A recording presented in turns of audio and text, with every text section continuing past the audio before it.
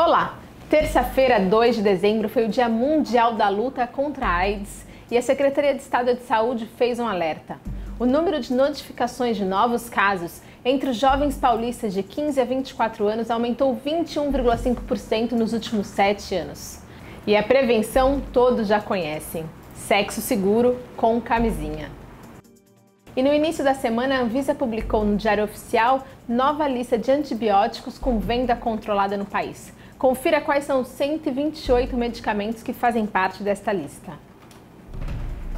O espaço na Mascarioga realiza nesta segunda-feira, dia 8, a última roda de mães da Baixada Santista deste ano, com o objetivo de levar informações importantes sobre o parto. Esta edição terá aula de pré-natal yoga e também exibição do filme O Renascimento do Parto, que retrata a realidade da obstetricia no Brasil. Para o bebê, o risco da cesárea desnecessária é o risco primeiro da prematuridade. E neste final de semana, confira a reportagem sobre alimentação colorida com dicas essenciais para o nosso dia a dia, que acabou não sendo publicada na última edição. Leia estas e outras notícias em bocnews.com/vida. Acesse nosso canal do YouTube, faça sua inscrição e uma ótima semana.